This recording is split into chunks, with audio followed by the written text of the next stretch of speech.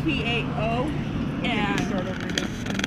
I'm a res- I was a resident of the TAO program at the Baymont Motel. Um, I was kicked out yesterday for being falsely accused of something I did not do. Um, so they left me out on the streets last night, didn't give me anything to where I could eat. When I asked if I could take a shower yesterday morning, they told me no. Alex, the director, administrator, or director, told me that's just a luxury that I don't get. Now they've got all my shit in a in a van that they rushed me to get it out, and I had I was told I had to per Alex till yesterday till 10 a.m. to move it all. Yeah, granted they're helping me with the storage unit for the first month, but they don't even care that a box was stolen out of my room last night after from them kicking in my door the day before. Okay, tell me about your shower story and how they kicked in your door. Can you start I the was beginning? in I was in taking a shower. First somebody came up to my room with a baseball bat, started hitting my door with a baseball bat. I called the office explaining to them what was happening. I went in to go take my shower. I shut the bathroom door and I locked it like I always do after being raped and everything. I have a security issue about being safe now, being behind locked doors at all times, especially when my husband is locked up in custody and stuff. I was in taking a shower. I heard somebody knock at the door. I said, I'm in taking a shower. When I come out of the shower, my door had been kicked in. When I asked what the hell happened, they said they were doing a well checkup. They didn't know if I had hurt myself. And, and who is this? Alex, the main director of Baymont's program, the TAO. Um, yesterday I called the corporate office. Then I was supposed to get a call back, never did. Then I get a call back from a doctor, something they call him, I guess, Dr. B. He said he talked to Alex and it was a whole complete story. There was nothing he could do to help me for last night, so I was on the streets all night last night. last night all by myself, slept on a bus bench, hadn't eaten all day. My medications were up in my room and they didn't allow me in my room last night to even get them. And I had was in the hospital Saturday with an abscess that led into a mild stroke.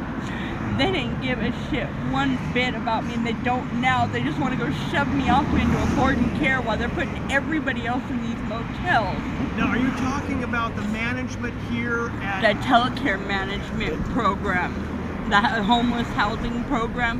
When I signed up for this, I was told that I had six months in a hotel.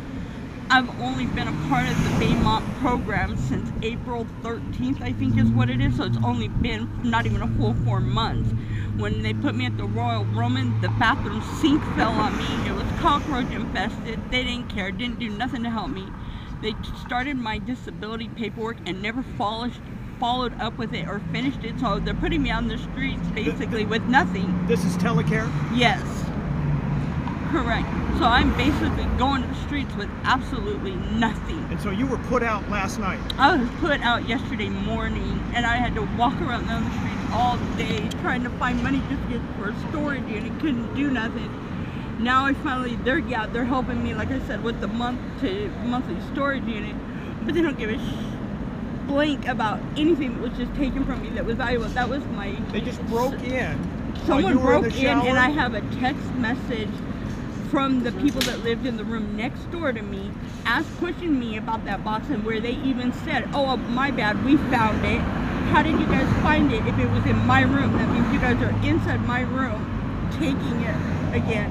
And now it's gone, and it had everything valuable of ours. It had my adopted son's paperwork in there that I can never replace, and I don't ever see him anymore. His last photo picture I had of him. It had my wedding ring set in there. It had a laptop. It had our opening Ray-Ban glasses that I've had since I was 16 years old and I'm 45. It was the last pair of glasses my mom ever bought me that's not with us anymore. It had my husband's deceased mom's stuff in there. It had the kids, my our twins that I lost at six months from when being in the riverbed when I was being tied up, beaten, and raped. Do you know where that box is now? No, actually I don't. And they aren't doing nothing. And when I went to the sheriff's to try to file a report, they said there's nothing they can do. Do you have a name of an individual or a supervisor at Telecare that you tried to work with? Becky is my case manager. She's done nothing for me. She saw this is what you get for what you did to another resident when I did nothing. But because those bus houses matched to somebody else's, and I told them, look, I've got people that will verify that those were not, I did not steal them. They were given to me. She said it doesn't matter. You're lucky they're not pressing charges on you. So where now they're waiting in the van for me to go put everything into the storage unit and then take me to some angel boarding care when they just placed all these other people in motels. I've been on the housing list for two years. I've been homeless for four years, and I should not have to go to a boarding care where I'm not going to feel safe. were you on the riverbed at one point? Yeah, for three years. I was beat up, tied up, beat up, and raped out there. That's so I got beat up out there and raped, and that's when I lost my twins about six months along. Do you mind? uh, Can I ask you just your first name? Kimberly, Kimberly. Thank you, Kimberly. you're welcome.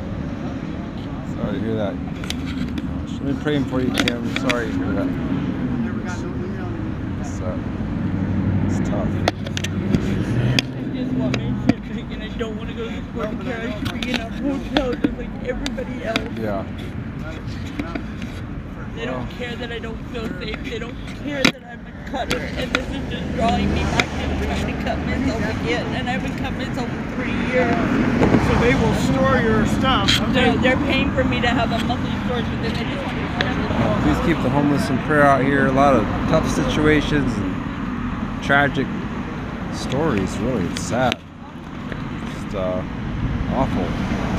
For women to be on the streets is so dangerous. Please, especially a special prayer for the women on the streets and do join Homeless Advocates for Christ on Facebook.